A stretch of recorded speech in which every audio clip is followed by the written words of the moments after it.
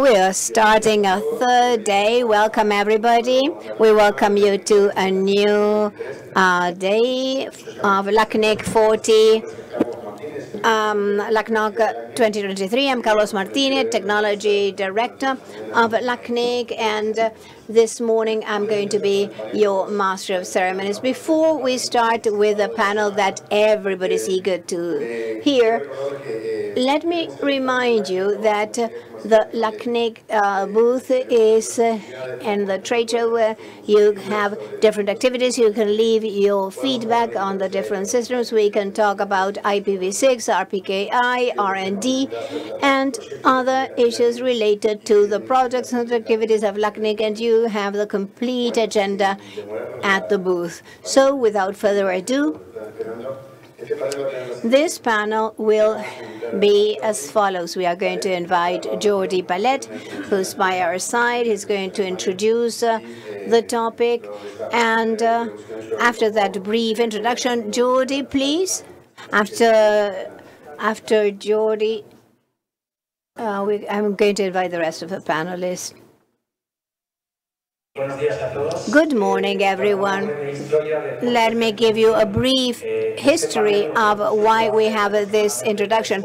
I suggested this panel four years ago, and then it took some time to get accepted because it's a very controversial. And finally, we have the, they decided to organize the panel. I'm going to give a brief, uh, um, I'm going to tell you what happened at APNIC uh, two slides, and I, so I suggested organizing this panel here. The APNIC uh, panel took place in Manila in APNIC 55.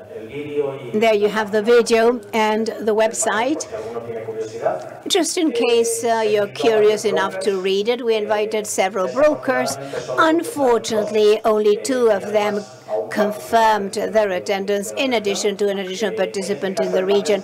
In this case, the panel took place uh, in the equivalent of our public policy forum, but they pointed out that it was not related with any proposal for any policy, so to avoid any uh, confusions. But obviously, it has to do with policy. The staff uh, clarified and confirmed that at APNIC, uh, current uh, policy do not allow leasing uh, not even for usage after the initial um, assignment of uh, the uh, addresses. I was not involved in the discussion. I was just the chair because, in addition, I'm one of the co-authors of the leasing um, of addresses or the denial for leasing of uh, addresses. So my aim was to make sure that uh, the time was kept. So the conclusions of that panel, and here there may be a certain subjective subjectivity when I interpret the discussion, but I try to see the video many times and be as neutral as possible. Well, first of all, it's difficult to uh, define leasing. However, the policy do not justify the need. Remember that this is an APNIC.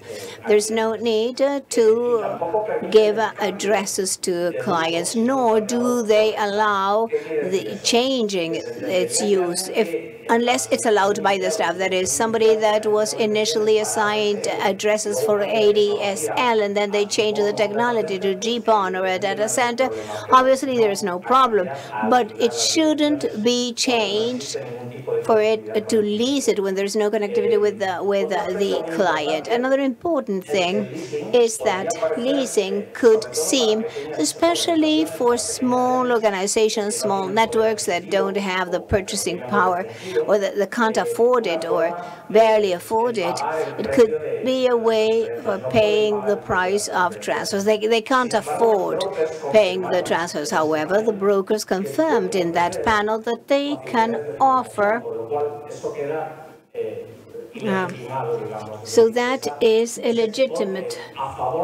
So that is in favor of the leasing because I cannot pay the price. But if you are given the funds, then you no longer have that uh, excuse. So the leasing is uh, uh, solving the problem of capex versus opex. Leasing causes problems. It generates uh, problems. It makes it difficult to track and uh, the reliability of the registry, and as a consequence, it generates a certain insecurity. And often it's a tool that was confirmed at the panel to use transient uh, addresses for abuses, attacks, or spam, etc. So that's all I wanted to give this introduction because I think that these are aspects that may be treated at the panel here. And just as a joke, so nobody will doubt of what I'm aiming at. What is the response? Well, of course, you know what I would answer, IPv6. Thank you.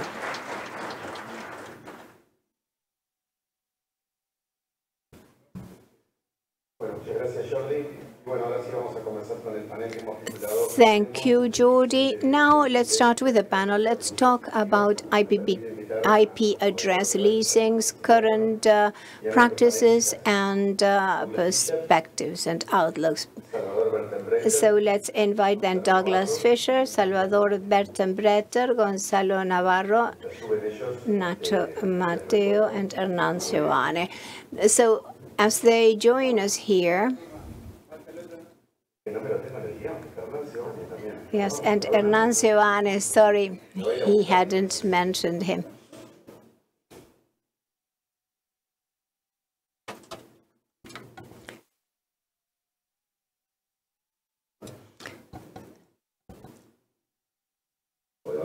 Hello? All right. I want to thank everybody for coming and uh, those of you who are uh, on uh, line. Do you have my presentation there? So let me make some comments. I think it's interesting. Uh, uh, um, introduction is interesting.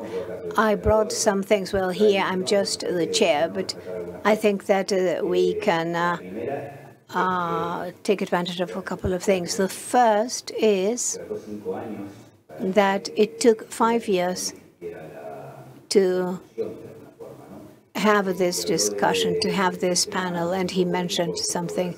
He said that it was a controversial issue, and my personal view is that we try to avoid the, the topic as if it were taboo, but you don't solve anything by not uh, talking. So obviously, APNIC reaches uh, their conclusions, and mm, they debated that. I think that each IRR may have uh, different views. We have representatives of other IRRs who can tell us what's happening elsewhere. And I think that as a community, we need to debate to debate this, and uh, we're going to see it in the in on the slides. The spirit is let's start discussing this. Let's uh, be uh, open in our discussions. We might not agree, but we might agree so it's uh, through discussions that people reach agreements. So this is the agenda that is a bit, uh, we are already running late, but this is just to give you an idea, because Jordi already gave his introduction, that we're going to have a first set of questions. Then we are going to have a while for an open mic for participants, then a second set of questions, and then again we'll open the floor for the participants. It's a two-hour session, although we started a bit late. And let me just uh, make a couple of clarifications before I introduce the panelists. This is, we are not debating policy. That's uh, just, uh, that's going to happen in a while in the public policy forum. So it's not that what we are saying is good or bad. There, it's not policy. Nothing will determine the policy, any opinion about the policy, even if you say it here, that's something that you should uh, do at uh, the PPF. And uh, as it's an open and uh, relaxed, uh, uh, we, we're going to use leasing, alquiler, arrendamiento. That's, in Spanish, we use different words, but in English, we're going to always use the word leasing. So then we can become more specific as we talk of policy. We hope this discussion will be very rich, and of course, it's, it, we won't exhaust the topic, so it will continue later. We'll, each panelist has two minutes, and for the open mic, it's going to be the same. We are going to give up to two minutes for anybody, if you want to use uh, uh, to speak up, we want to encourage uh, as many uh, voices as possible. So I ask uh, both the panelists and the participants, please, my apologies if I have to stop you because you're going to long. And the real thing is that, well, working as a community, building a community requires being able to speak, uh, to, to talk openly, honestly. We must accept our differences. There's no doubt that we will disagree in some things, but we are all willing to reach consensus. So let's be uh, frank, admitting that there may be are people that disagree, but hopefully in, in the long run or in a short time, we can all agree. And if this turns into a policy, that's okay. And if it doesn't, it's okay too. So now, let me read here. We have the panelists. Gonzalo Navarro is Vice President, uh, uh, uh, VP of Sales for Latin America of IPXO, a marketplace of uh, IP addresses. In the past, previously he was Senior Manager of Public Policy at LATAM at Amazon and CEO of uh, the Latin American Association of the Internet, ALAI, and member of ICANN for two uh, um, consecutive periods. Nacho Mateo graduated uh, from, uh, is, is, has 32 years of experience uh, in IT.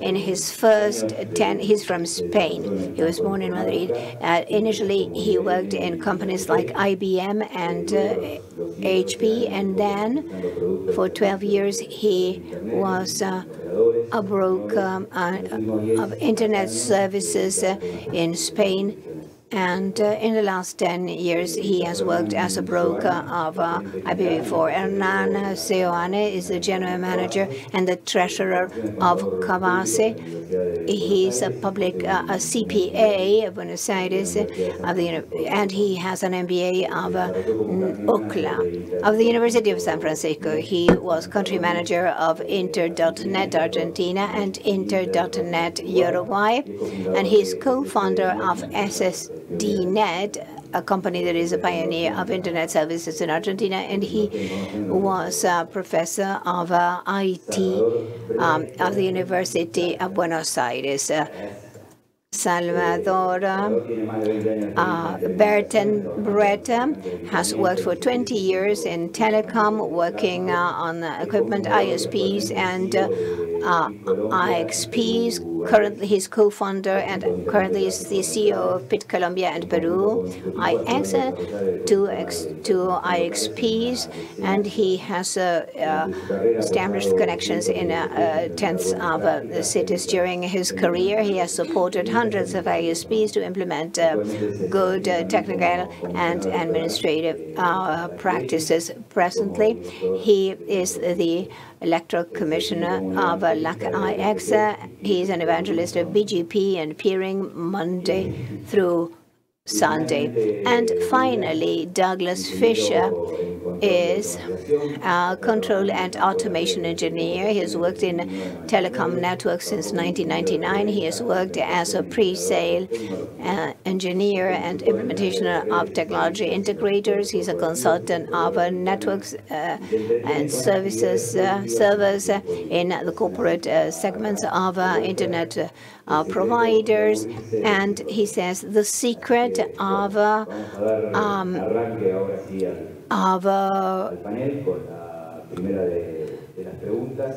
not uh, bored, getting bored is to say everything. He's quoting Voltaire. So, let's see the first set of questions.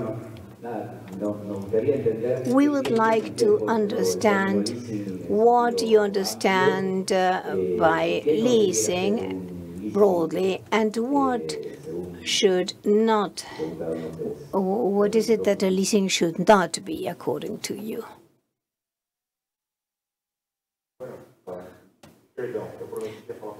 Well, I'm going to speak Portuguese.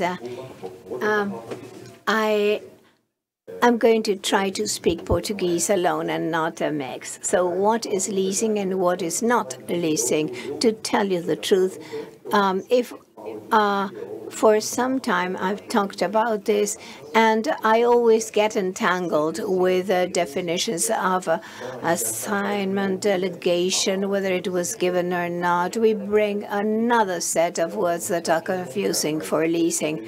This is complicated. However, um, um, when you lease uh, something, you have a right on that, and uh, you rent it for somebody to use it.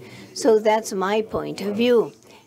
In uh, APNIC, they say that somebody uh, gets confused because if you say what is leasing, it has a financial connotation, and if you're speaking of renting, it doesn't uh, have a financial uh, connotation. But we are just, if we are thinking of the end users of the internet, if they're happy, if it works, and we don't uh, we don't need an IRR. We don't need somebody to configure the router. Well, we don't. We know that it's not like that. That it works. We need people configuring.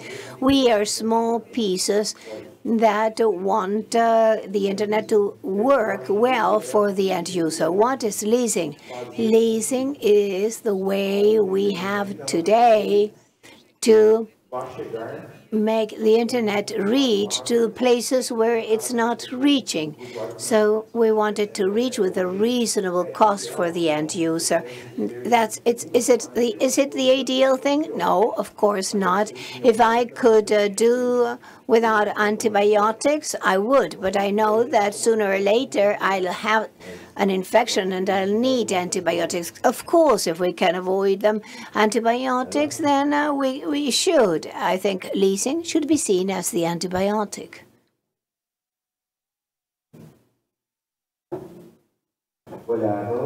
Hello, everyone.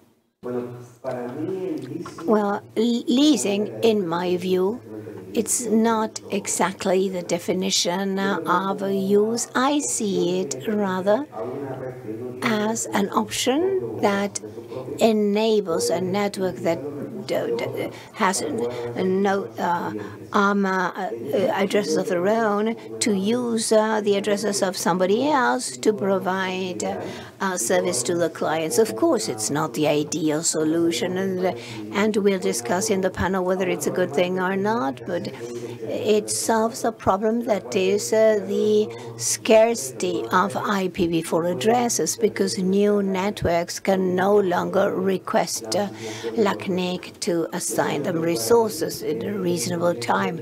That's the way I understand leasing, in my view. What is not? Well, for instance, selling addresses or the uh, or some other use. If if a third party is using the resources uh, somebody else has, it, it would be uh, understood as leasing. So this is not uh, this is not a legal definition, but this is how I understand it. Now, I understand that the long-term solution is IPv6, but I also understand that there is a transition period, and this makes leasing the topic of our talk today. Otherwise, you wouldn't be discussing this. In my opinion, the key word here is exhaustion. So otherwise, we wouldn't be discussing leasing IP addresses.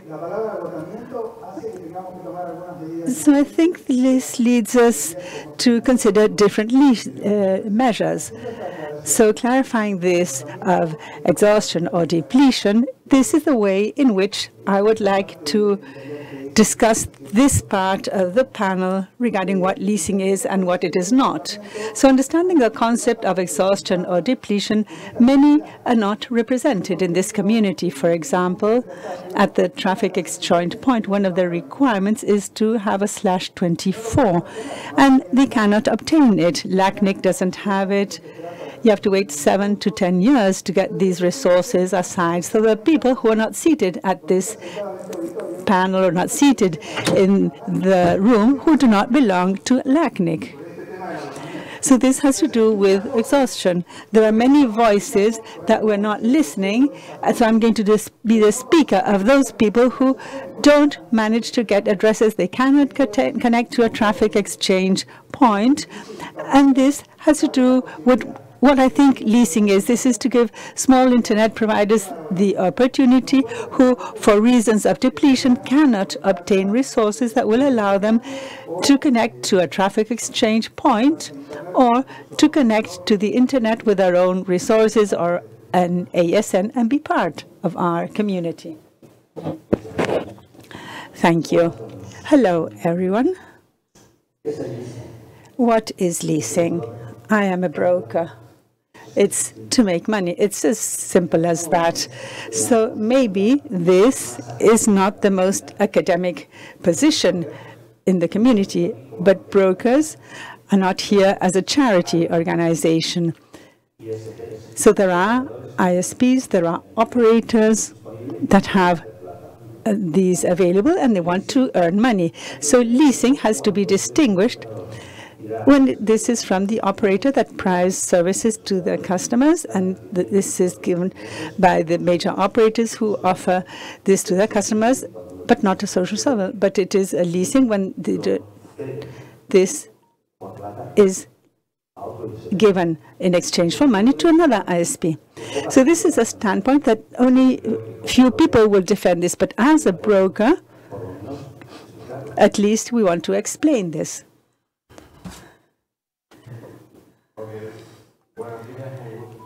Good morning. It is a pleasure to be here. This is a long-awaited panel and also a very necessary discussion in order to inform and explain what we do.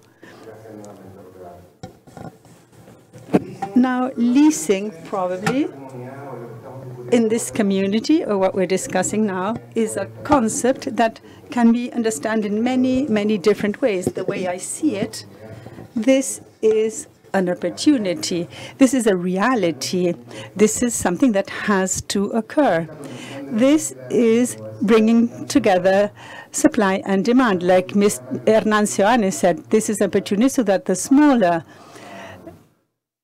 organizations can not only join the community but also carry out their business. This is an opportunity for connectivity with the region.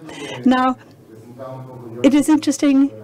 It was interesting to listen to Jordi and the conclusions he drew from the APNIC forum. This is a different region. This is a different context. We have different needs. We have different realities we have different network topologies.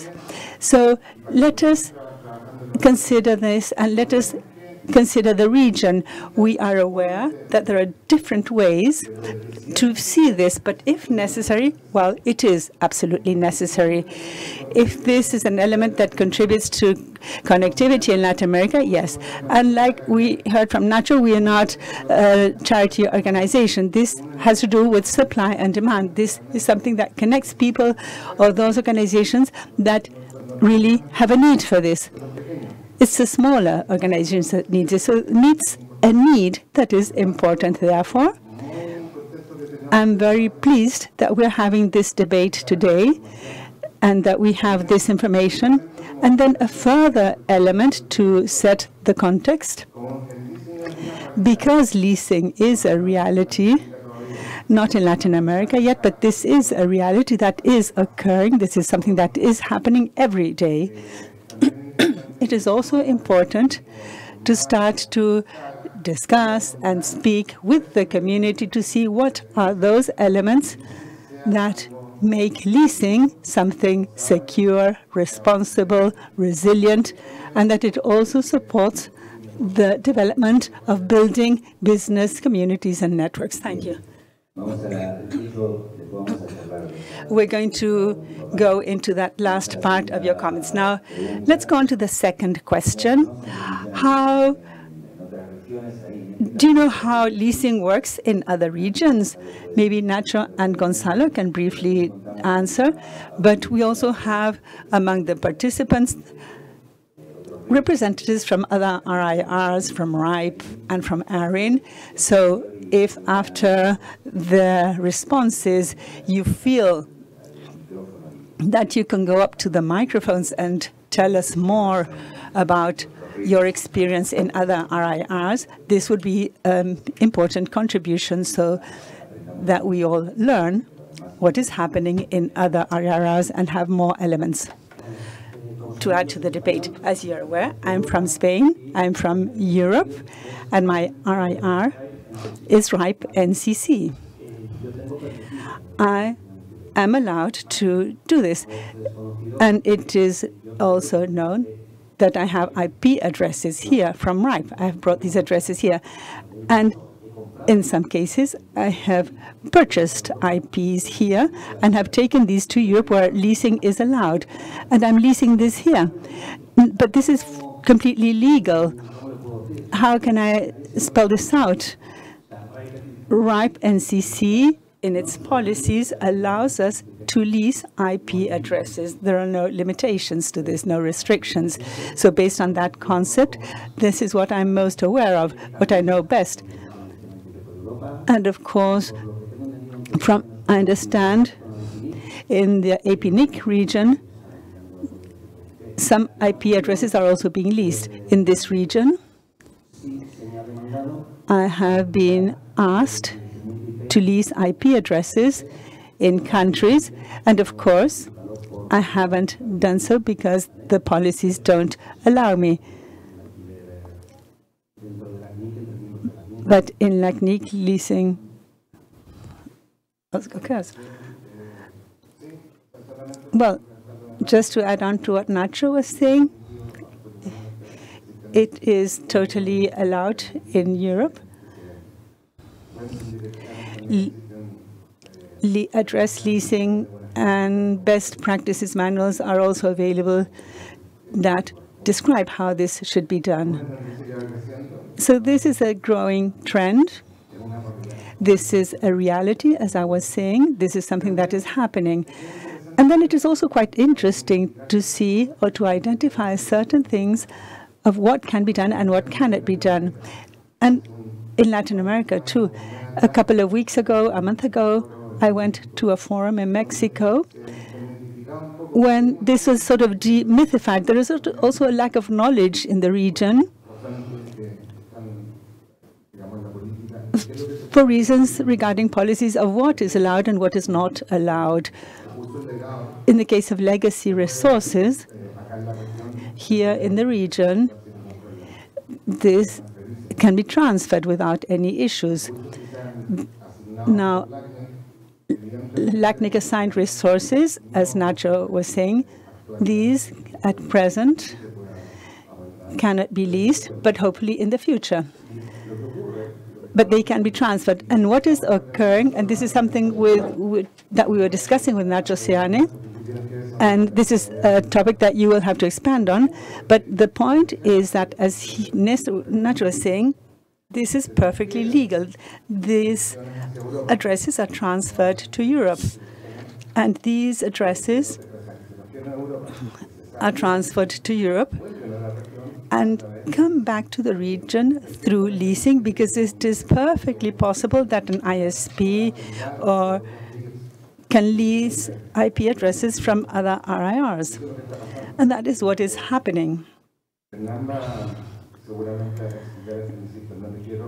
So I'm sure Hernan will be expanding on this concept, but this also has implications on the costs. It has costs for the companies that demand these addresses. I'm sorry, but you have to wrap up. and I'm not, I don't speak that much. Okay, now I'd like to ask the people from the RIRs who are here, ARIN or Ripe, if we'd like to go up to the microphone. You have a couple of minutes, and we'd love to know what is happening in the region. Buenos días, yo soy John Sweeting y soy Chief Customer Officer en ARIN. Y hay dos aspectos distintos a los que me quiero referir, a los efectos de obtener IPv4 de ARIN estoy están casi en la lista de espera, pero el leasing no es So we would not, if you came and said, I want to go on the wait list, I want a 22 because I want to lease this space, it would be denied. Um, also for transfers, if you say, uh, I want to buy this space because I want to lease it, that would be denied for the recipient. Um, the other aspect, though, is on space that's already out there with the users with the uh, with our customers, if they have IPv4 space today and they wish to lease it or do whatever they wish to do, transfer whatever, um, then that is uh, something that ARIN doesn't get involved in. We don't tell them they can't. We don't go and audit them and try to take the space back. Once they have the space and they've had the space, they can uh, pretty much do uh, whatever they need to do with that space, other than one caveat to that is if they get space from the wait list, they're not supposed to lease it for five years. And if we get fraud reports that they are, we will um, investigate that and possibly take that space back. Pretty clear. Thanks a lot. Hola, buenos días. Um, voy a hablar Good morning. I will speak in English.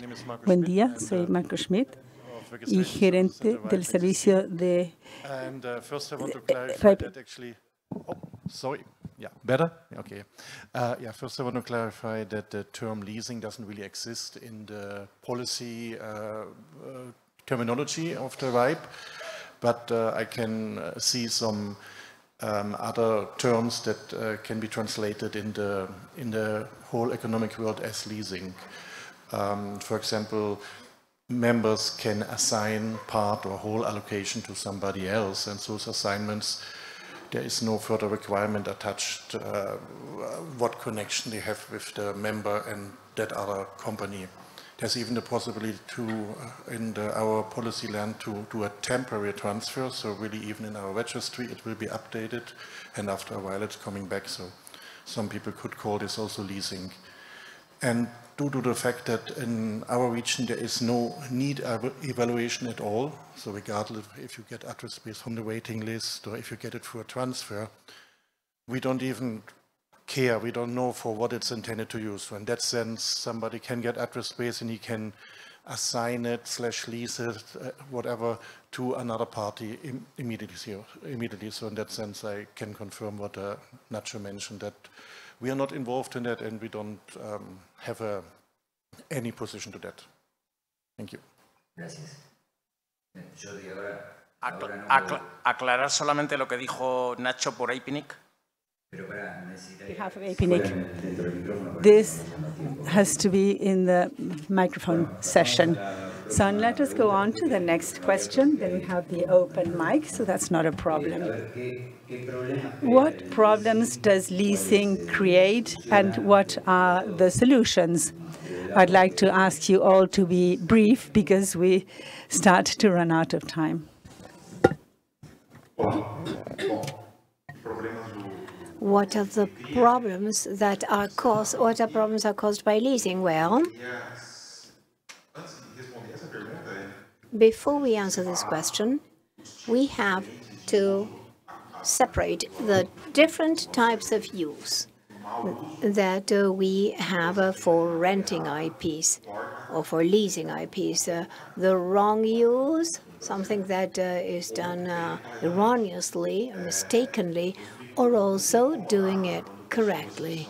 So I am really bothered when I see people that are against leasing of IP addresses who like to mix the correct use of leasing uh, for, for spoofing or for spamming or for other negative things.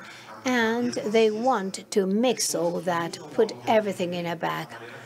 And the, the people that use IP leasing correctly is very different from those that do it erroneously, those that use uh, do things uh, adequate and uh, do the subdelegations of the end user as uh, and as they are ISPs, they receive that block. And we have, for instance, a company with a slash 30 that uh, does the correct assignments. And I, I think that those are very intimate things. They are closely related to this question. And what is uh, the problem that leasing causes? Well, it's that you can't track an inadequate behavior in the internet. I think that that's the main problem it causes. And how can we mitigate this? Well, by doing things right, the way they should be done when you, uh, in a regular assignment, using uh, the proper anti anti-spoofing uh, mechanisms and the uh, validation uh, of origin uh, correctly too. So the companies that don't have IPv4 and that have um, uh, end users that need connectivity, they receive assistance. Of course, it won't solve the problems of companies with 1 million um, uh, clients, only if they have two, three, four, five uh, users. Only a couple of minutes, uh, uh, please. Limit yourself to two minutes. Well, I'm going to talk about the problems that it solves.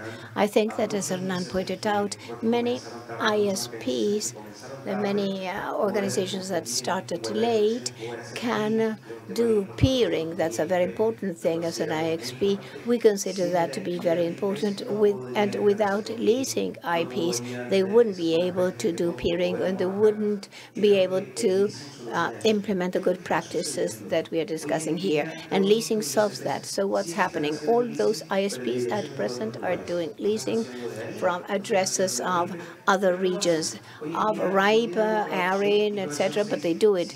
They have no other choice. So if we, uh, but it's it's a truth that, of course, we promote uh, the implementation of IPv6, but we can't uh, deny that people need IPv4. So what are the problems? Well, that the uh, you can't log, you can't do the, the track and trace, as Douglas said. And but if we solved that, it could then we would be able to ensure a correct usage. Undue use of IP addresses, I think nobody in the panel would defend that. I think that we are all against that kind of use. We all want it to be well used, and I think that that enables us. And the other thing that uh, leasing can allow us is that if we can do it correctly, the organizations that are underusing the IP prefixes will have an incentive with good use. And if they have resources that are not being used, they can release them to increase availability in the market. Because today, there are companies that are underusing and and uh, those IPs cannot be used because uh, they can't be leased. Hernan, yes, uh, let me go back with a message I already said, that is depletion. And here, common sense is necessary. When there's depletion, who will return a resource? Who will return a resource if there's depletion? Because we are no longer recovering resources, but if we have these leasing, not leasing, nobody will go back uh, a resource because if they need it later, they won't be able to get it because it's depleted. So common sense tells me nobody will uh, return a resource. So if nobody will return a resource, at least as a community, let's accept uh, leasing let's just uh, apply common sense. We all know that this is done. So let's not try to cover the sun with a finger.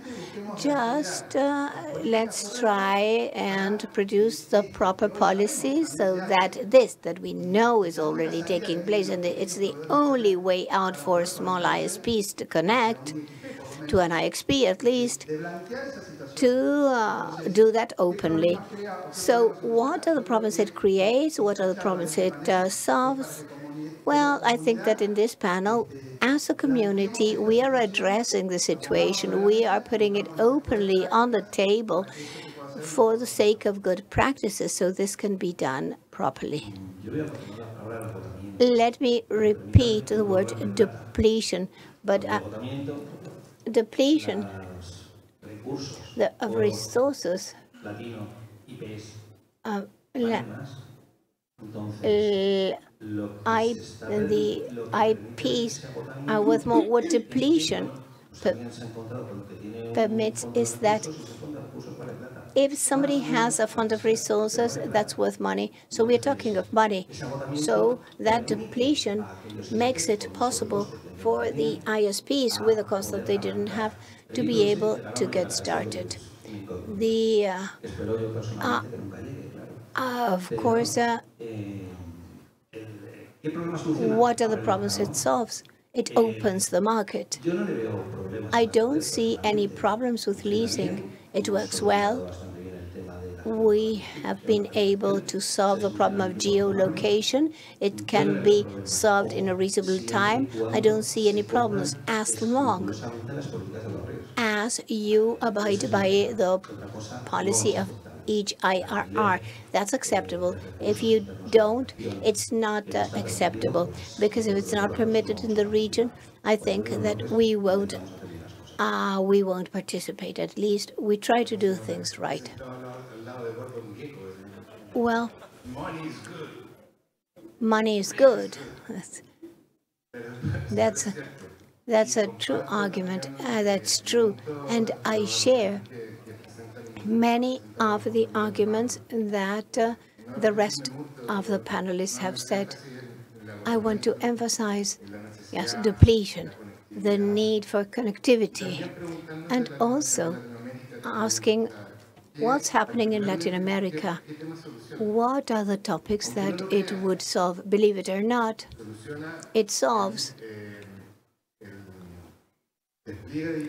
the implementation of IPv6 activities that cannot migrate to IPv6 and we know it, we've discussed it with universities, with training centers, small ISPs, medium-sized ISPs, people that do not have the resources to migrate to IPv6. They don't have the technical, the, the although LACNIC is doing a wonderful job training people, but people need tra further training. They need to buy hardware. And if there are resources that are idle and the uh, people who have them can lease them. Well, they're going to enable those who cannot uh, to do that leap to IPv6. It enables connectivity through IPv6. It enables the entry of uh, uh, players that are excluded from the system because there's a waiting list, a seven-year waiting list. So you can shorten that uh, waiting, waiting list time uh, time. So as Alfredo mentioned a couple of weeks ago, there are over a thousand companies that will have a slash 24, uh, waiting for a slash 24 in Latin America. That is impossible. It's not an issue.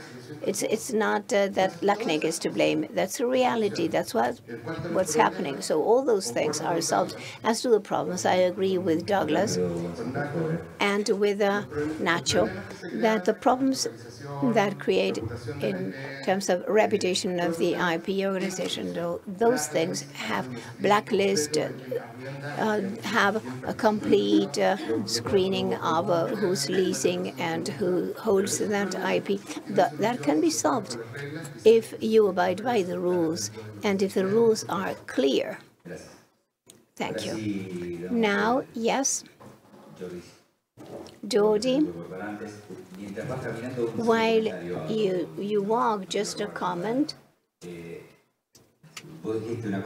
You said something, Nacho.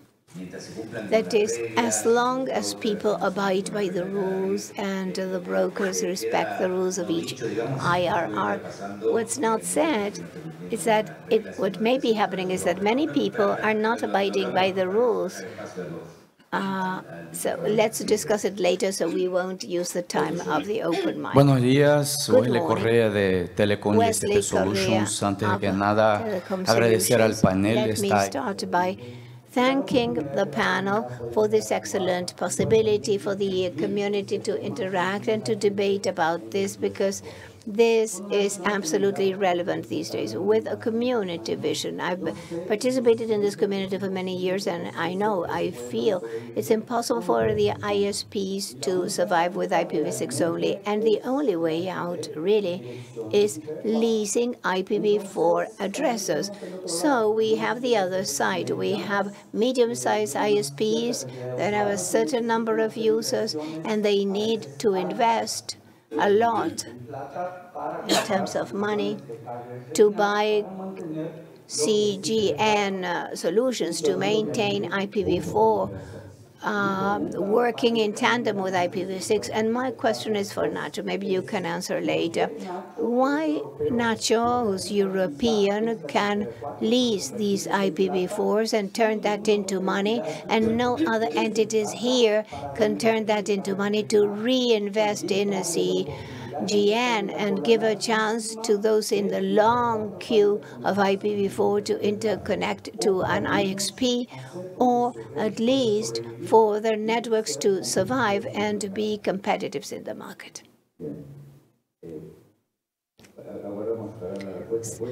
Let's wait for the question. Jordi, what I wanted to say earlier, if I understood, Nacho says that uh, it's in APNIC they can do leasing. That's not right.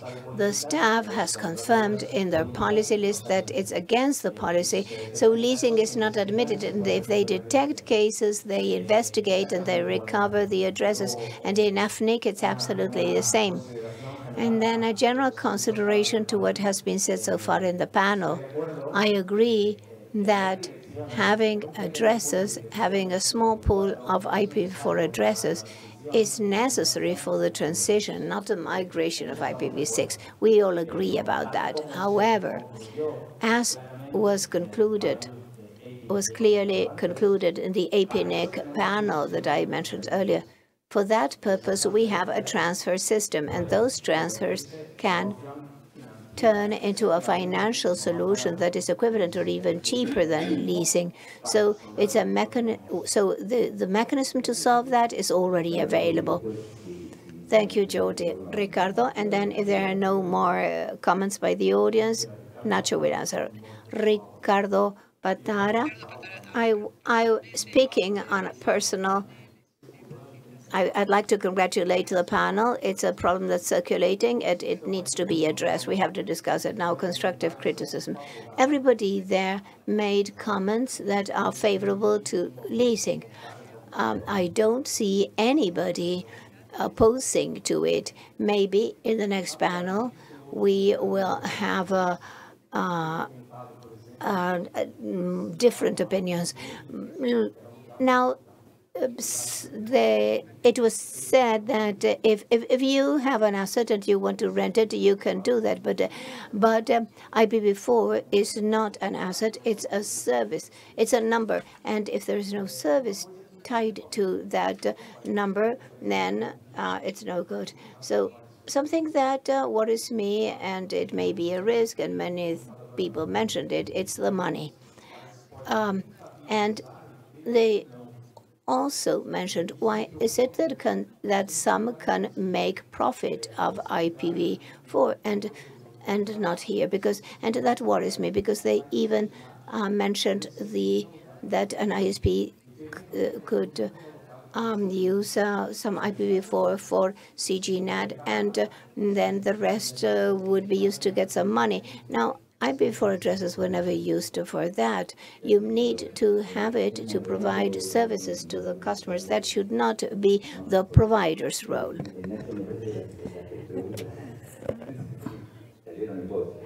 Nacho, I think you have the three questions to answer. First of all, I'd like to apologize because I'm focusing my argument on money. So this is being leased, and this is being leased. And allow me to say this is not complying with the policy. I'm not going to go into uh, uh, uh, so uh, there are sufficient colleagues who are defending this issue of the ISPs. Now, to answer Wesley, it is not fair. Why can they do so and why cannot I do so? Why cannot I charge for leasing IPs and why can't the community do it? I'm on the side of the community too. So if the policies, if the current policies allow me to lease IPs, why shouldn't I do so? And I agree with you, and I insist. This is not fair, and let's leave it at that. Now, Jordi, we have heard that APNIC could lease, and I'm sorry if I'm mistaken. So one of the things that was said previously, and it's quite true, leasing will allow investing. And I'm sorry to use the financial jargon. It will allow to make investments so that other operators can progress. Transfers are not the solution because there are operators that don't have the capacity to buy or transfer a slash 24. A slash 24 is very expensive and an, in, an incipient operator needs other solutions. So the solution for them is leasing. And also for those operators that allows them to invest in what they think is convenient. They're going to invest in carrier grade NAT and transition. But the reality is that we really have to look at the altruistic standpoint and say that they're going to use this to implement IPv6. Now, I'd like to make a comment. Let us give five minutes for all the answers because everybody is asking for the floor. Five minutes for all of you. I will be super brief. First of all, APNIC is APNIC, RIPE is RIPE, ARIN is ARIN. And as far as I'm aware, the realities and the things that occur there are meaningful and a raison d'etre because these are regional issues. And these are conclusions that, frankly speaking, I'm not asking the staff uh, to, to, to change this. Now, a dose of reality. No, limited transfers are not a solution, even if they are levered with uh, funding for slash 24. It is far cheaper in reality to lease. And you can lease one month, two months, for three months, for four, one year, four years, from a slash 16 to a slash 24. That is the flexibility that allows that is allowed for by leasing. Now, altogether, transfers are a very positive system for the general ecosystem in the Latin American region so that they can, ISPs can grow, can participate, and can approach the business chain. And this can generate at the same time more business in the region. Business in the region that will not only allow to monetize the IP addresses, but it also creates an ecosystem that has also grown. And this market that is growing with all the benefits this implies. Thank you, Hernan. I will be very brief. From the standpoint of money, let we're speaking about a slash 24. This is objectively. This costs 35 reales per IP, $35,000. A slash 24 lease costs $300. If we are going to lease for 48 months, it's 300 times 48. You apply the correction fee, and it will be a similar amount. But let us assume that I have 5,000 clients, but I don't have 35,000 US dollars. So I need to respond to the people. Yes, it is cheaper, but it's not only cheaper, but this is money that I don't have. And I have customers that I have to respond to. So this is another point. I see hundreds of ASNs. They have a slash 18 slash 19. Let us assume this is a slash 22 and they have 5,000 clients. 5,000 don't fit in 1024, so they're probably doing NAT. If they buy a CG NAT box that is a decent one, they're going to manage with a slash 23 to add 10 to 12,000 clients. So are you going to return that slash 23? If you return it, then I charge half the amount. I think nobody is ever going to return that. So what are they going to do with this? They're going to transfer this to RIPE, and RIPE will no, they have to work to check whether work is done properly. So there's nothing against you.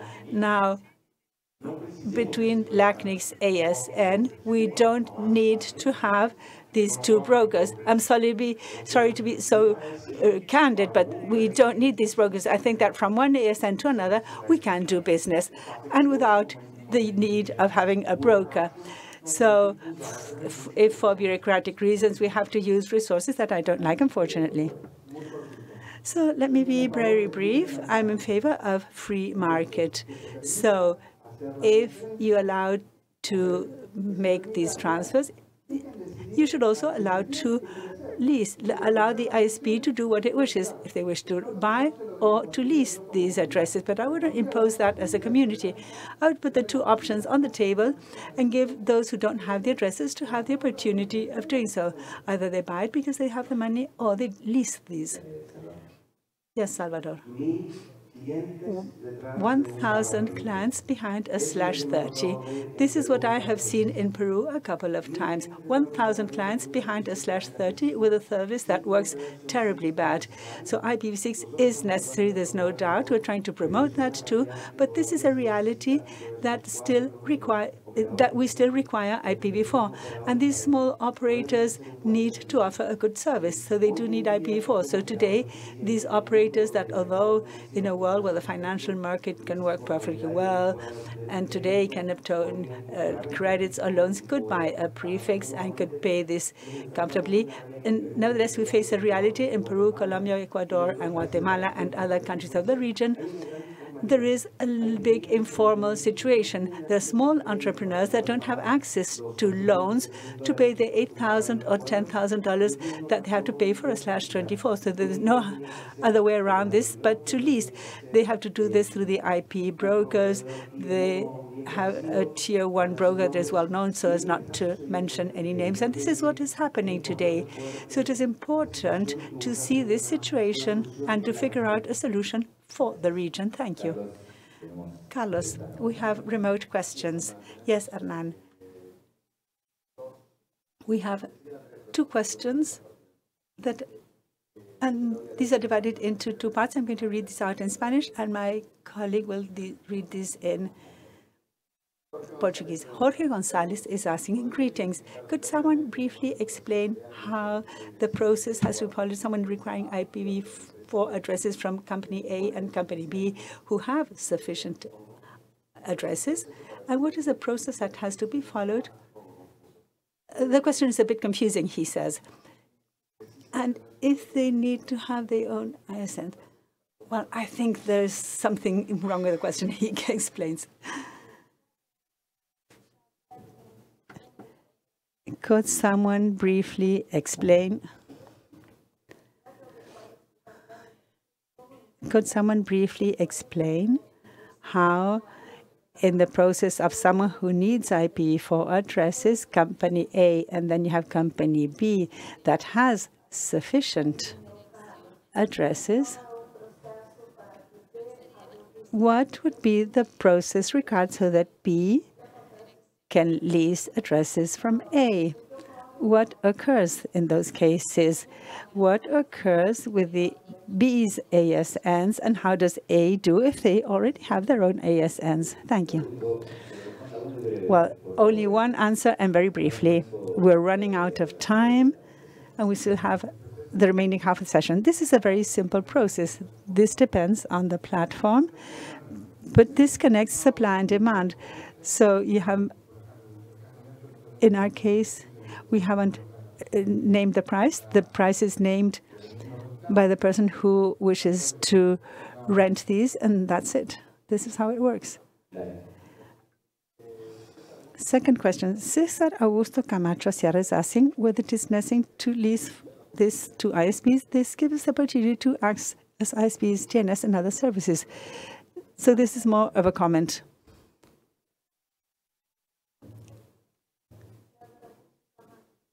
So this is the same question in Portuguese.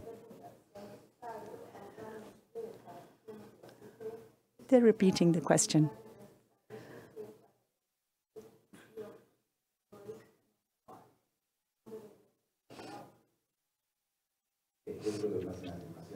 I think this is more a statement than a question. Yes, it has been written as a comment very, very rapidly.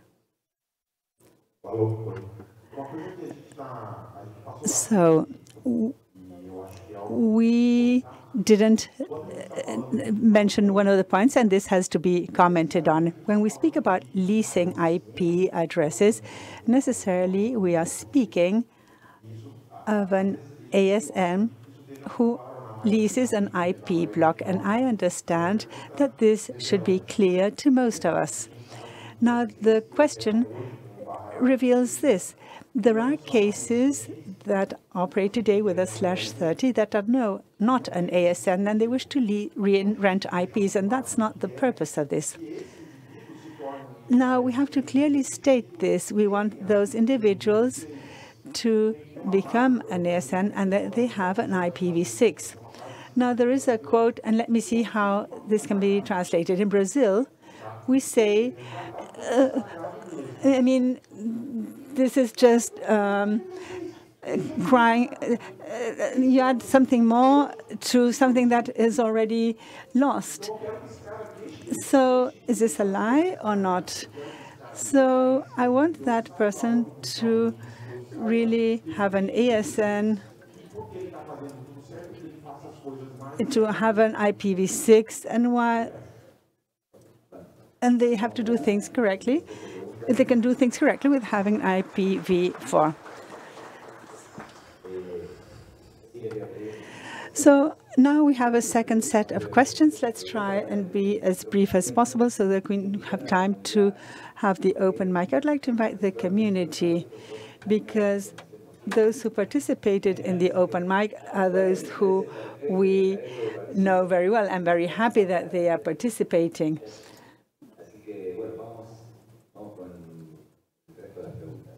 So let's go on to the next questions. What other alternatives do we have to leasing for those who cannot pay for the transfers?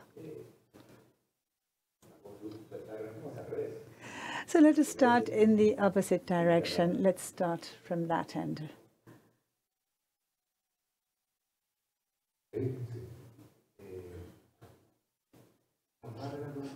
So um, the question is a bit odd. Either it's a transfer or it is leasing. So I don't know if there are many more alternatives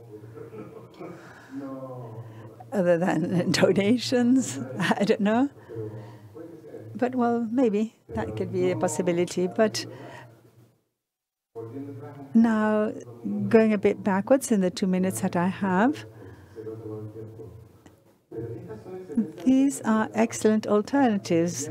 So depending on the model, depending on the need, and depending on the size, because there can be companies that need to have something that is more permanent because of the way they are building their networks. And in that sense, transfers are good.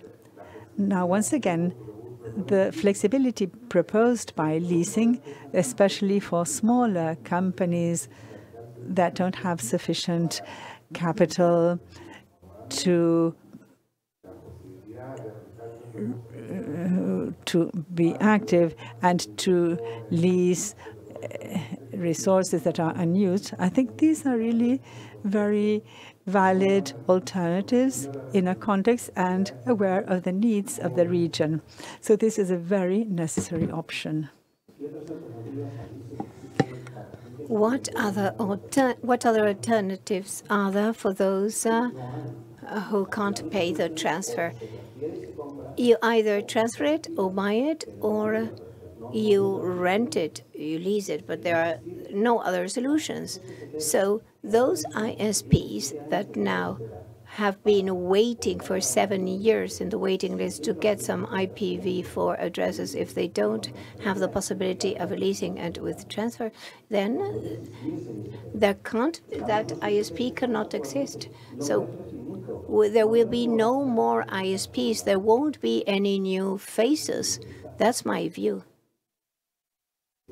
Yes, I fully agree with Nacho and with Gonzalo. In my view, there's no other way to do it, but there's a black market or a blue market. That is, this will continue to be done under our radar. People will leave the addresses, and as a community, we'll say, why are we doing it that way if we might be able to do it more honestly?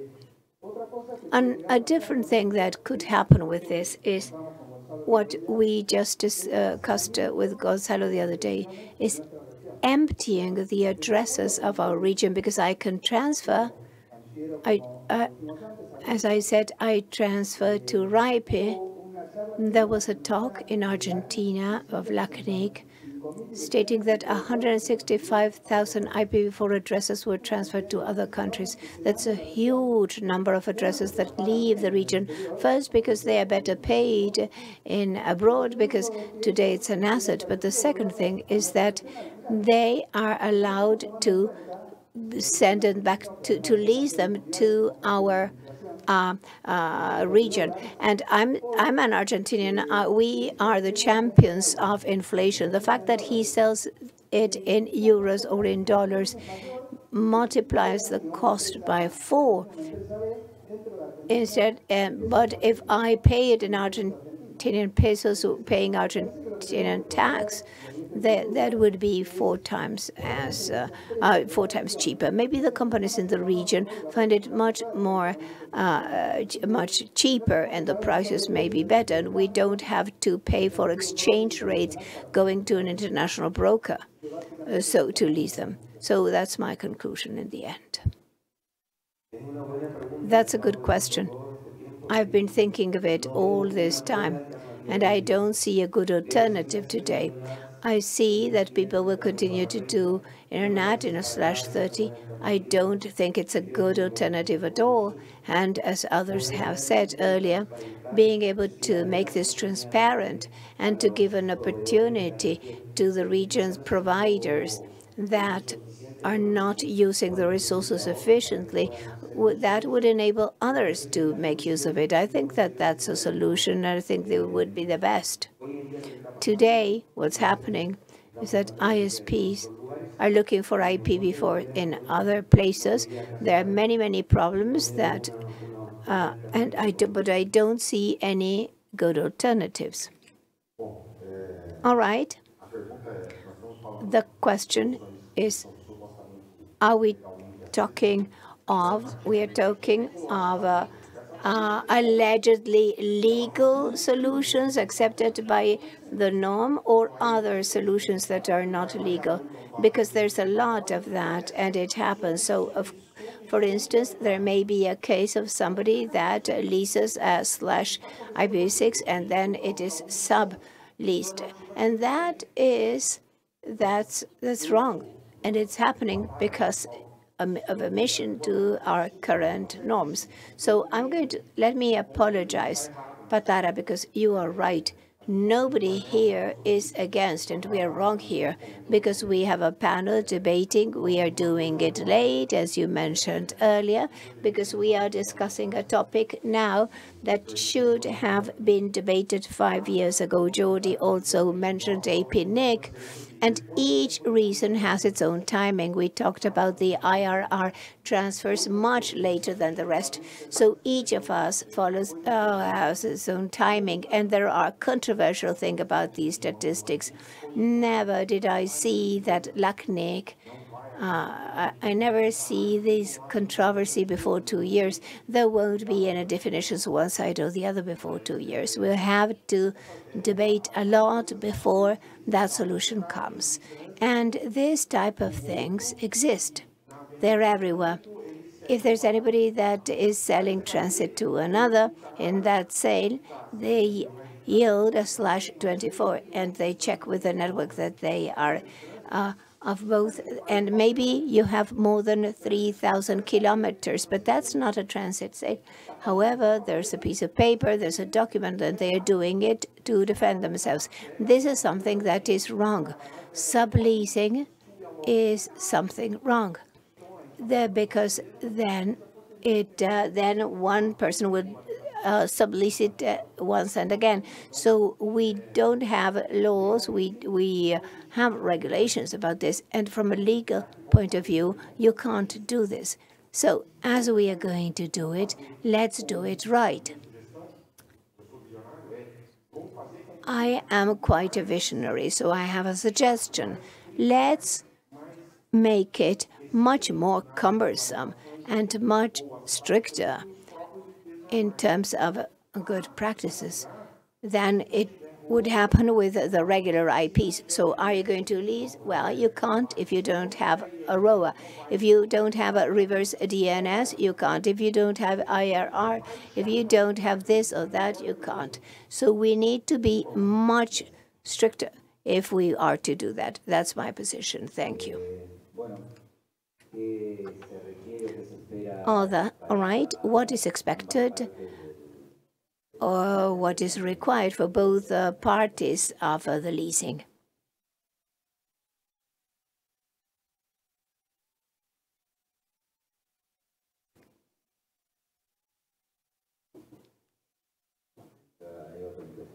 There's another mic. Thank you.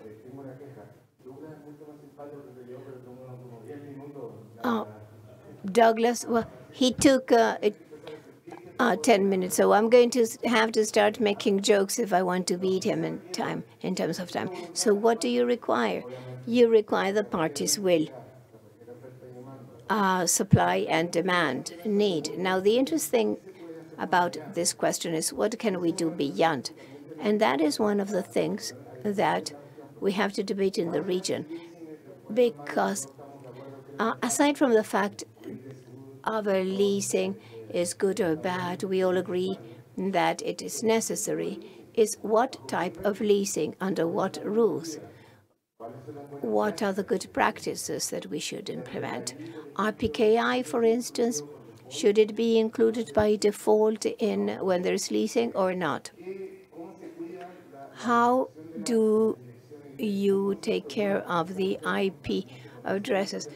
Maybe there's a new concept that taking care of the reputation of the IP that you give to a platform like ours or a broker um, like Nat, uh, it's very important because the reputation of the IP implies knowing uh, where it comes from, what are the parties that uh, intervened, uh, how was it using, uh, who's going to use it, and what's been the track of use.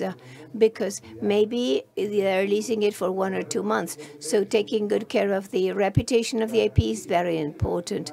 The blacklist of bad actor uh, actors is absolutely necessary.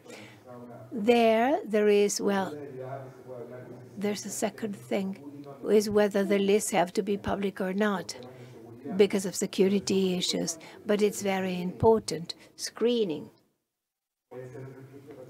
let me make another uh, joke. Screening of who participates in the market and who's the uh, actor, both the person who offers it and the person who rents it, who leases it. That's very important. So those are the uh, least of the best practices that the system has to implement so that the parties and the community and the IRR may be reassured of what's being done. Thank you. Nacho? What is required or expected from both parties for the leasing? Well, good practices, white list, black list. Let's preserve the reputation of the IP because it has a direct uh, impact on the value of the IPs. That is true. In uh, a clean IP is worth more than IP in the blacklist because people won't uh, want it. Let's be clear about it. So let's reach an agreement because what we have is a market uh, that may be black, gray, uh, whatever color they are being rented. So we are putting a question of things that are being done that are not being seen but really people are leasing. I won't give any names, but there's a booth downstairs that have gone. Mm, many people say, Nacho, why don't you pay for my IPs? So that's the issue. What do you need? Reaching an agreement, money. Thank you, Nacho. I'm going to highlight the expectation that both parties have when leasing. Nacho a few minutes ago said supply and demand. Now, let me stand first in the side of the ISP user that has no uh, IP addresses. What would they expect from this? To increase the supply in the market, because that will lead to a drop in the prices. So from the side of ISPs, if we allow this, there will be more bidders, more supply, and consequently, uh, the price will be more competitive. Now let me stand in the side of people with a surplus of IPs. And when there's depletion, nobody will return them because if in the future they need it, I have no way to get them back. So during a depletion, I say, well, I have them, I won't return them. So I allow that ISP that has a surplus of ISP uh, addresses. My common sense tells me that they won't return it to monetize that idle resource. I'm allowing those who have it that um, if they're not using them to be able to monetize it. And the other is um, being open about a situation. As Nacho said, if this is happening, if you show the way you can prove it, why do you have to do it that way if you can do it more honestly, more frankly, if the community agrees? So these are the two uh, expectations that I have about this. I think that it is important to have a framework that will enable me to do this in order. And I'm speaking from the uh, perspective of I uh, of an IXP, and I want to implement RPKI. But in practice, I have new members. They uh, uh, lease a prefix. I know Nacho would prefer it. They they they uh, lease it from uh, gadget and immediately the RPKI will be broken. I would love to be able to solve the problem in the region. I think that that needs to be done in Paraguay, as Douglas said. If somebody is going to do to misuse that as a community, nobody wants it, and we shouldn't uh, allow it. But if it's for a legal use, for for a good purpose, that should be allowed, in my view. I, I don't agree with you, Nacho. It's not just a matter of money. As a matter of fact, when we have a commercial relation, and I used to work for a company many years ago, and I had a slash 23 of Embratel. I wasn't an ASN, and I had a slash 23. And afterwards, in that company, I helped them, and it became uh, DSN, and we started routing Embratel slash 23 with another transit, of course, with an agreement, with no money involved on this specific issue with respect to this block. So I would say that it's interest, demand, as Hernan said, and of course, money is in the middle. Uh, well, yes, because it's necessary. So we are considering this a lot from the standpoint of the provider, of the ISP. Now, what occurs with the data centers? The data centers will also have to lease these IPs. So what is the outlook for these stakeholders, for these players? Well, I don't have an answer to that. So there is something that we cannot conclude here. We cannot conclude anything here. The only thing we have are doubts, and we have many doubts, and we'll try to answer these in the time in the coming times. We have a brief question now. We haven't yet opened the mic, so please bear with us uh, until we finish this round of questions. So let us ask this final question before we open the microphone. How can we avoid leasing becoming a tool for abuse activities? This was mentioned by many of you, but let's not be repetitive. Let's be brief. Yes, once again, I want to stress this. We do 100% screening on both sides. We look at blacklists, publicity, informing the user. All these are tools. This, there are things that you cannot avoid, no matter you know, automated systems are very helpful. Now, issues about geolocation and platforms that contribute to geolocation, this is very important. So all these set of tools that allow you to take care of the most important asset, which is the IP's reputation. So we have to stress that point. And of course, expect that those companies that work in the market meet these minimum standards. This is very important. To avoid leasing being used as a tool for abuse activities, well, we do have a bit of know-how in this case, but we can avoid these being used as a tool for abuse. You really can detect when they start using IPs for abuse purposes. But what I would suggest, and I know that the brokers I know and that do things properly, you can really trust these. We are the first ones who are interested in not having a bad reputation because the quality of the IPs has been affected or the reputation or whatever. But let us not try to find an additional justification because of the reason why that ISP is going to need this. Let us not enter that area because otherwise we'll be putting stones on the path. We have sufficient problems with the justifications and we start entering further justifications, well, if anyone starts thinking about including justifications for leasing IPs, this is uh, making us enter uh, an area which makes start making the market a darker area.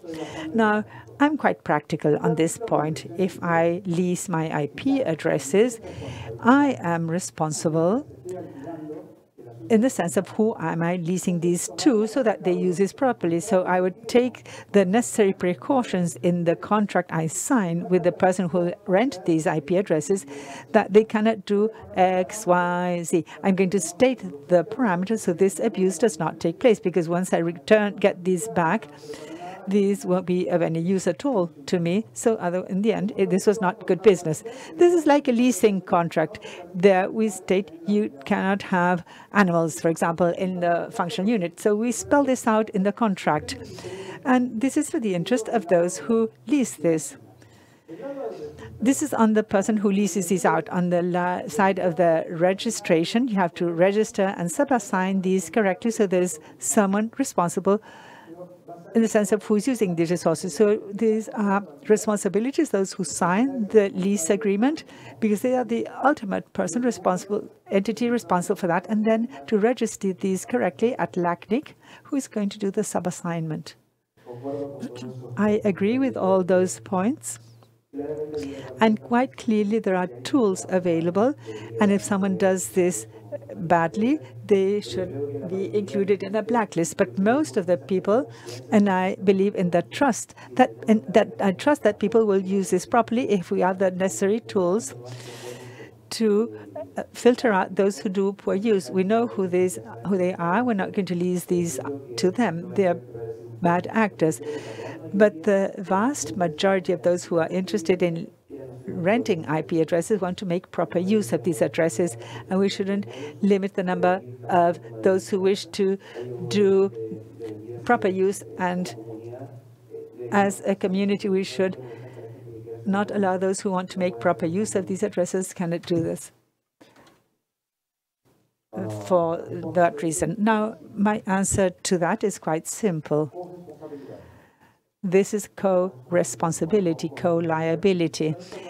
When I mention this word, I'm referring to all the parties involved in the process, if it is an ASN or whatever. So the two sides are responsible for this. If we involve a broker in between, the broker is also part of this.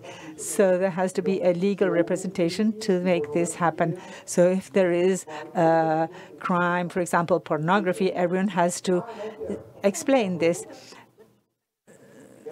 So if they say they want, don't want to have the responsibility, then go and find this elsewhere but we are only pieces of a puzzle. We are here to figure out solutions to the users' lives. If the broker is a responsible entity, they're going to take care of the requirements and that these are respected. If we wish to lease IPs, we will behave properly because otherwise they won't be able to ever lease these out. So this is a tool we have.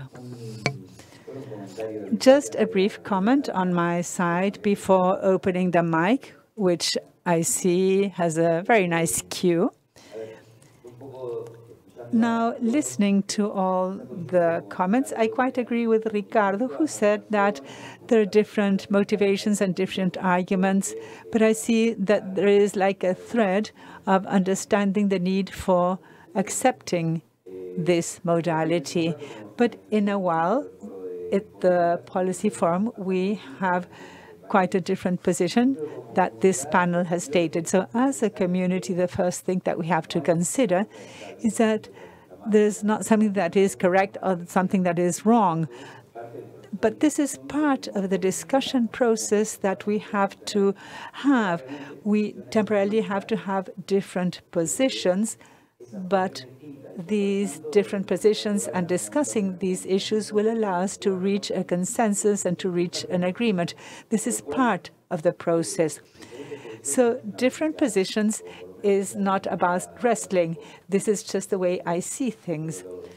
But I just wanted to make that comment in order to close this part. So we now go over to the Q&A session, to the open mic session please introduce yourselves. so with the years, one starts to forget what we thought previously. I stood up early, so I wouldn't forget what I was going to say. And you have just allowed me to, uh, he had given me a cue. I have been part of the technical community for quite a number of years. And this is a meeting of the technical community, but we're speaking about business. So there's no black and white.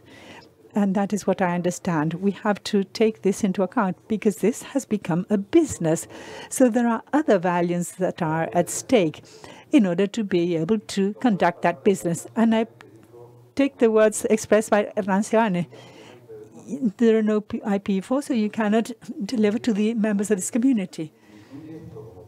So we have to include this as part of the discussion. Maybe later on, maybe in the following panel, as a community, what do we want to have?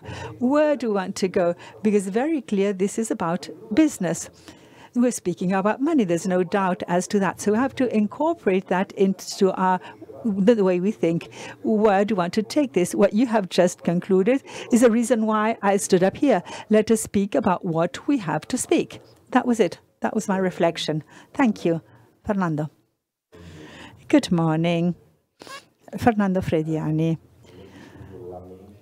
First of all, I apologize that in the panel you haven't included anyone who has a different position, an opposite position.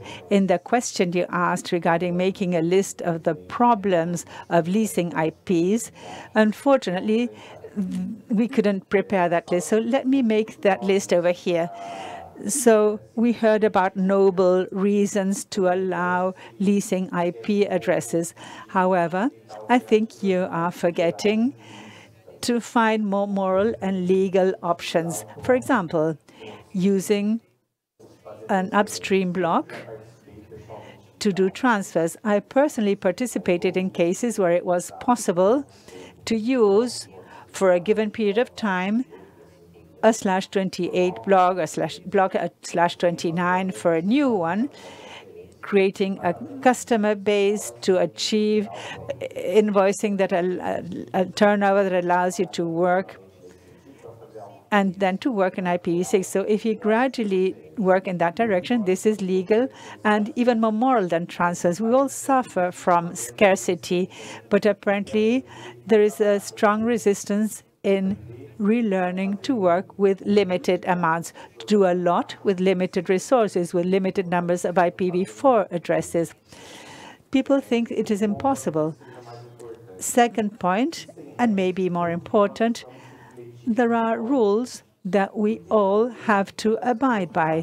Why someone who is willing to pay more can advance in front of all those who are there in the waiting list. Why someone who is willing to pay more shouldn't be subject to provide justification for using these IPs by that ISPs because when you have to pay a price, but you don't have to justify things. So why those who are willing to pay feel they are better than the others? And we speak about free market. I understand what you're saying, but it is free market. Let us do free market with our assets. If I buy a route, if I buy a server and I create a service, the IPs are not an asset that belong to us as a company or individually. We cannot do free market with something that doesn't belong to us. That is wrong. That's one of the moral points, one of the moral issues. So rapidly, Fernando, wrap up. So when we incentivize the use of IP addresses, we're also promoting a market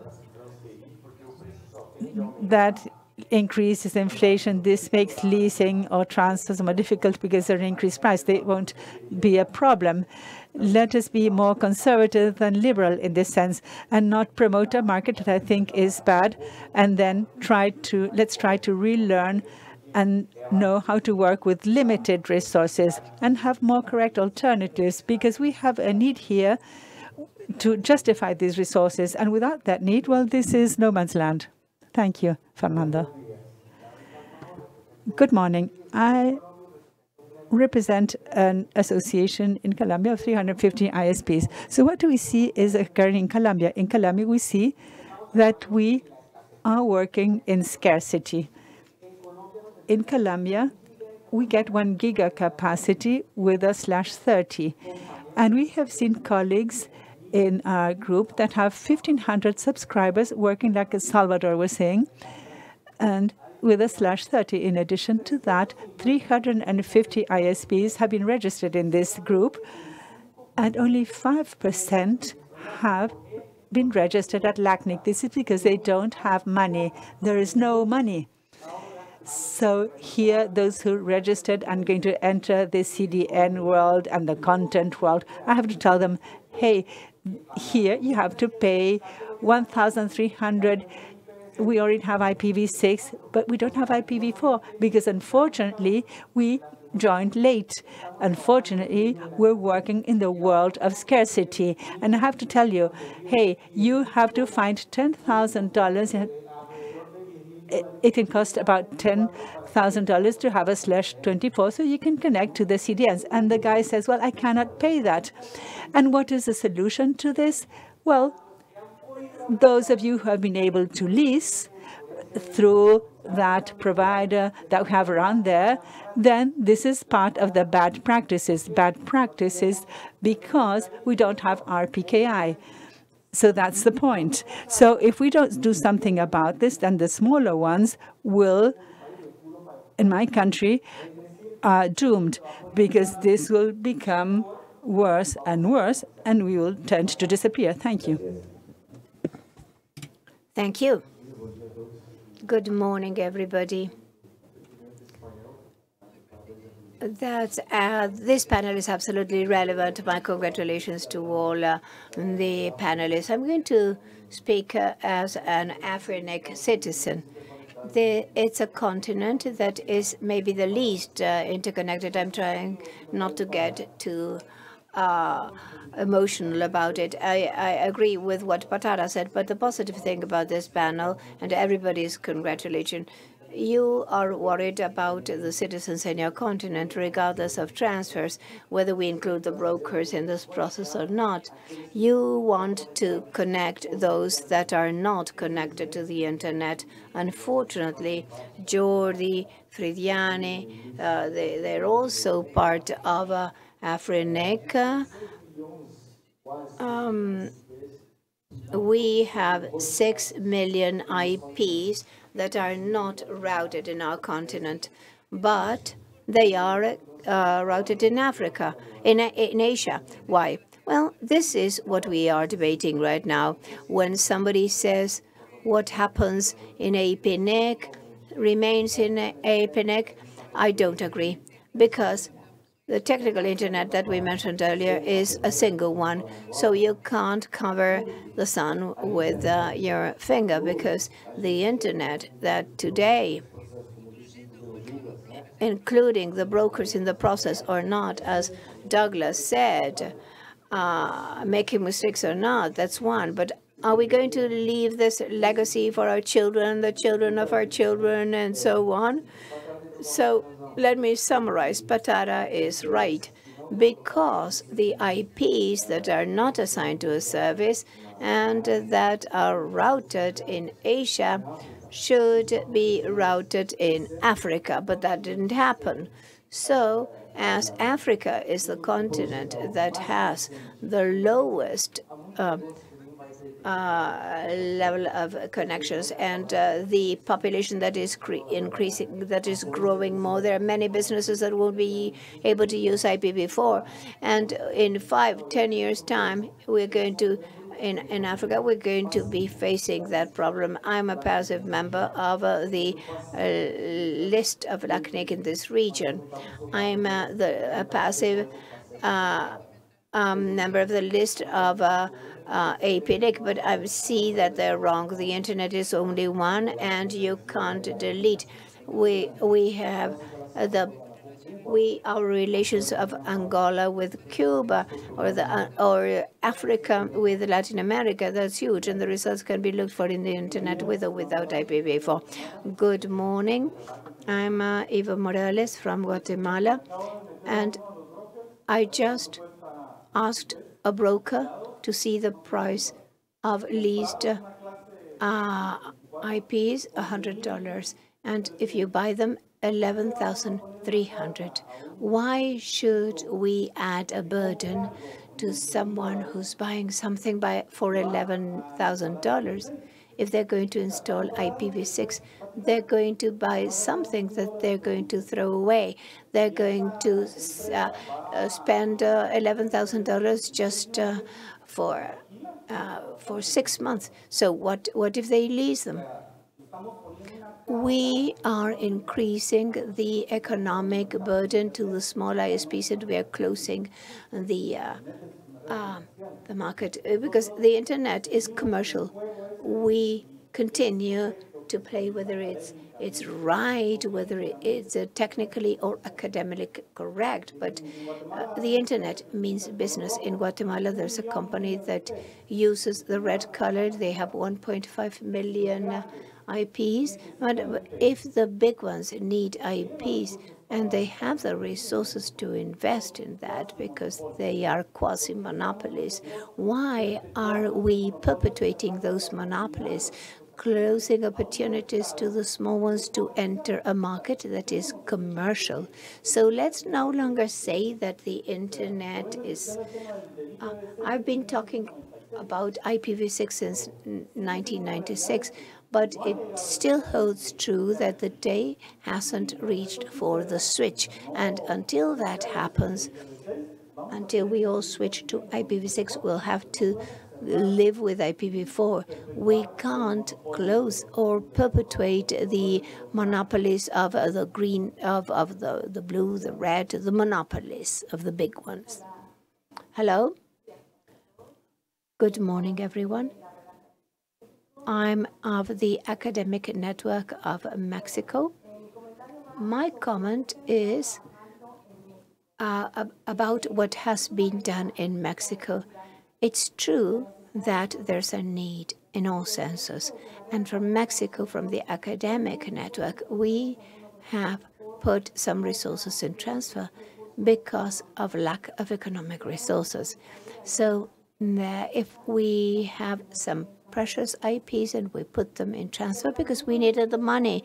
But also with the universities, we have discussed this so that they may see this existing reality and what they can do about it. Because honestly, the economic part, we all know that there we don't have the economic support for this area. So if the institutions have some legacy resources, they uh, can um, be uh, they can do it as long as they can see with the broker the issues of the security that they need.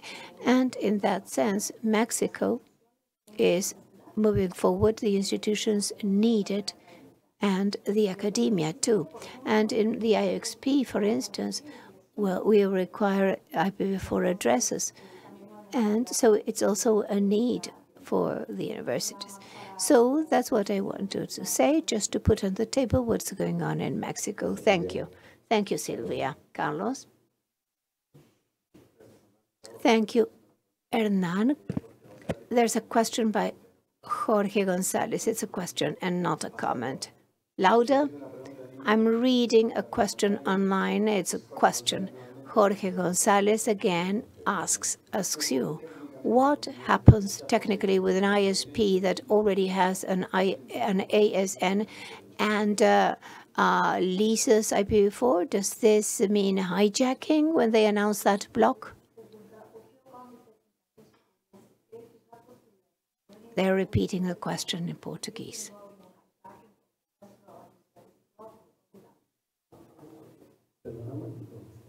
My apologies. What does it imply? RPKI, ROA, that's it.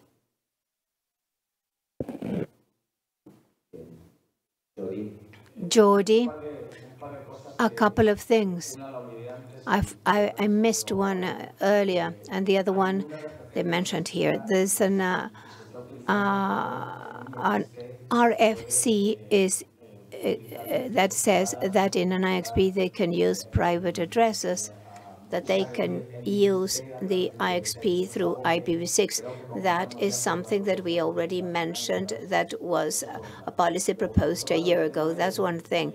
Then we have, effectively, I agree, and the colleague that uh, of Mexico of the academic network said it, that we have to try to make the networks profitable, and that's good.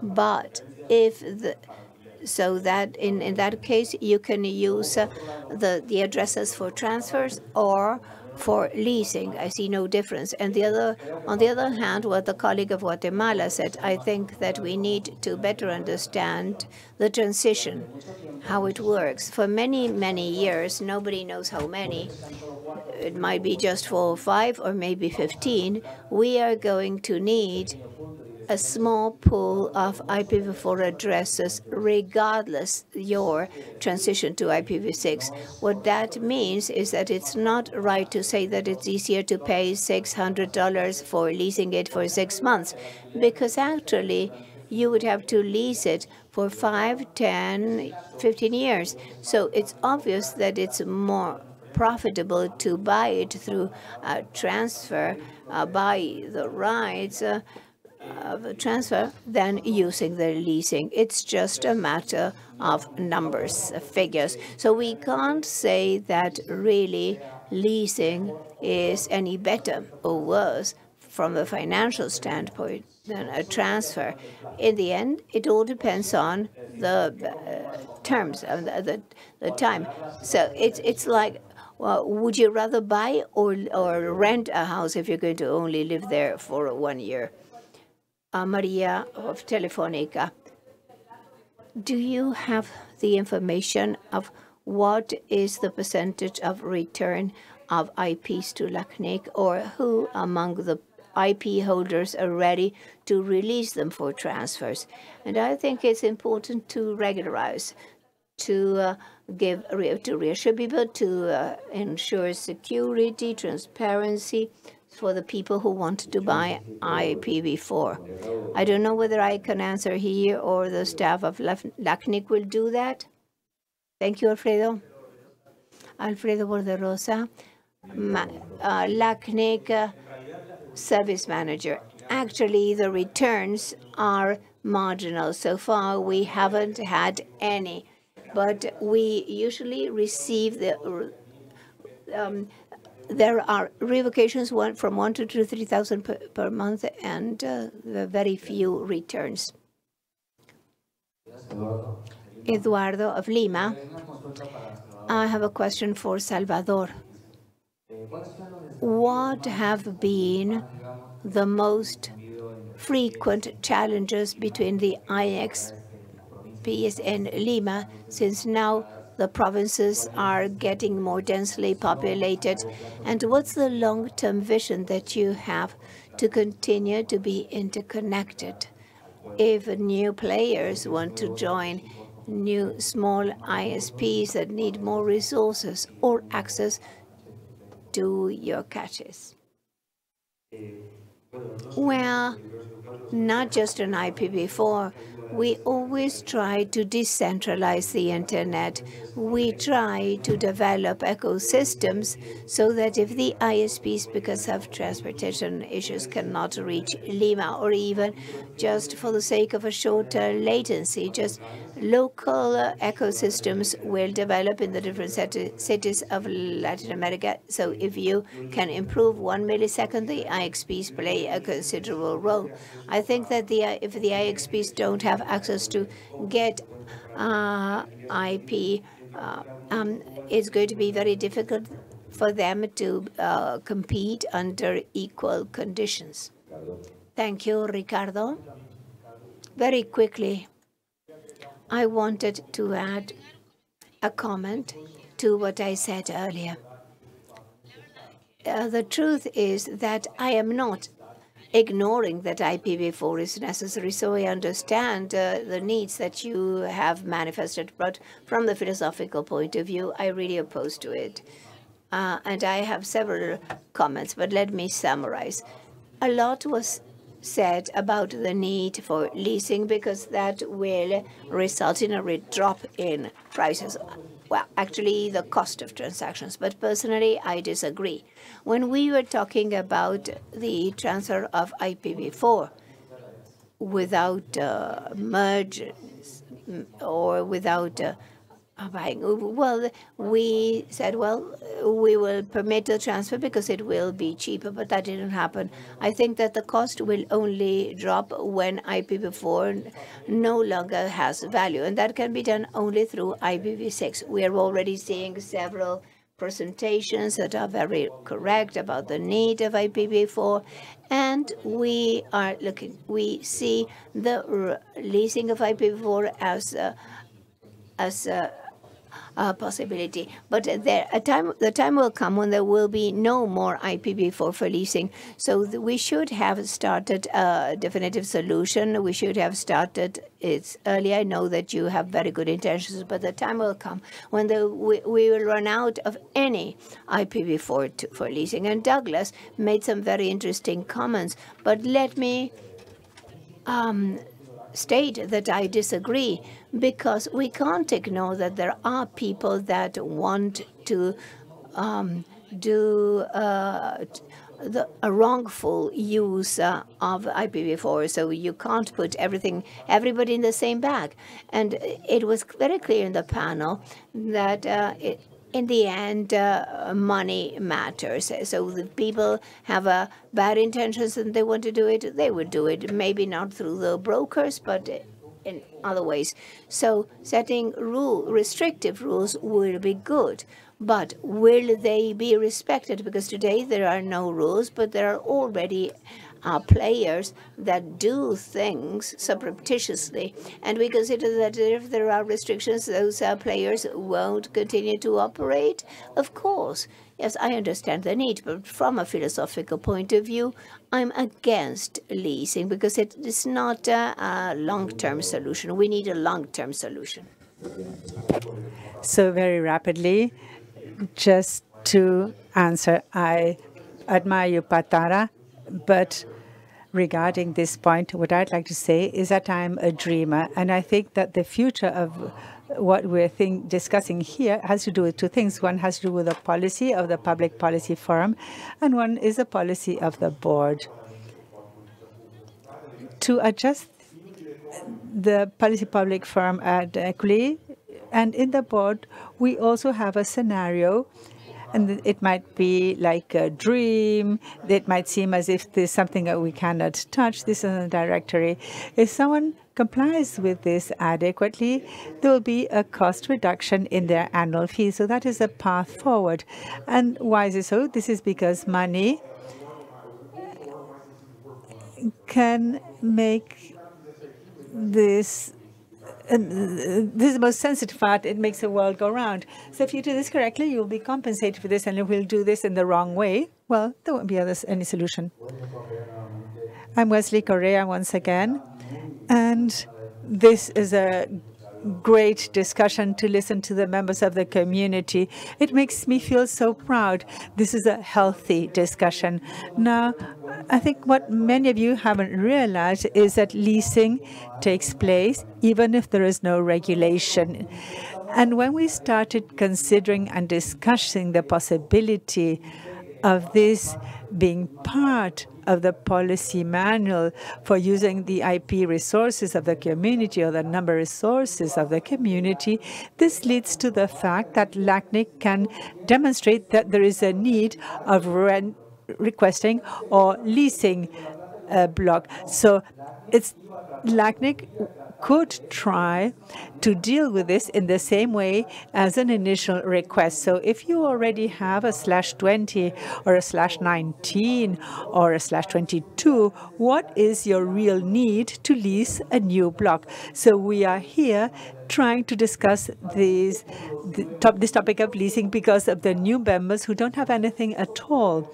So this obviously is it's quite clear. And those who like to write policies, maybe you can write a policy on this topic because LACNIC has a possibility. At present, LACNIC does this already. LACNIC manages these leases, so one can directly lease this to another with the involvement of LACNIC so that on the receiver side, this is documented and it is part of the civil and criminal uh, compliance and also complying with the technical requirements that were mentioned previously. Just in case, after the last speaker who is queuing up, we will be closing. Hernan, we have time. We'll have time for final comments. Well, I would say that we don't. I would like to ask a question. You have 10 seconds. Sorry, sorry. I'm from Chile. So there is an aphorism that says my question is, if you can transfer IPs, transfer IPs, why can't we lease IPs? If you can make profit with an IP transfer this, transferring it, why cannot you lease these? You cannot transfer these if you don't have the ownership. So this would lead to an immense discussion. Let's leave this. Let's leave this for another session. Let's give the floor to the speaker on the microphone. I'm Nan Camacho from Venezuela. My participation here is to ask LACNIC for the possibility of, as a new ISP in the market, to give the opportunity to those states or countries that don't have so many resources to have the option of leasing public IPs because we find it difficult to deliver to the end users uh, good IP in our country, we have quite a lot of limitations. The idea is to create a project that will allow those who practically don't have anything to have the opportunity of leasing without such a high cost, so making the cost cheaper for us. So I will close the session. We have been we have passed the time. Let me mention two or three points that were raised. The first thing, well, Jordi said five years in organizing this in the APNIC panel. And I think this is very interesting. It might seem as if here this discussion is only starting. It started to become rather heated towards the end. But what we have to do is to continue having these conversations. There's no right or wrong position here. We'll be discussing a policy in the Public Policy Forum in a while. And I insist once again, it's not about something being right or wrong. This dialogue will then lead us to figure out a solution in the short, medium, or even long term. So what we cannot do is stop having this conversation. So I really welcome having had this panel, and I welcome the privilege of having had the opportunity to chair this panel. So I encourage you to continue discussing this so that we can reach a consensus. Having different positions is not bad. Practically, in, in other words, it's what really enriches the final outcome. So thank you very much to the members of the panel, and thank you, LACNIC, for this space. We'll now continue with the public forum. Uh, Thank you very much, Hernan, and the members of the panel. This was a tremendously interesting discussion. We'll now have a break, and the presentation we have by Kim Davies, who accepted to this right after the break. What I would like to ask you is to resume as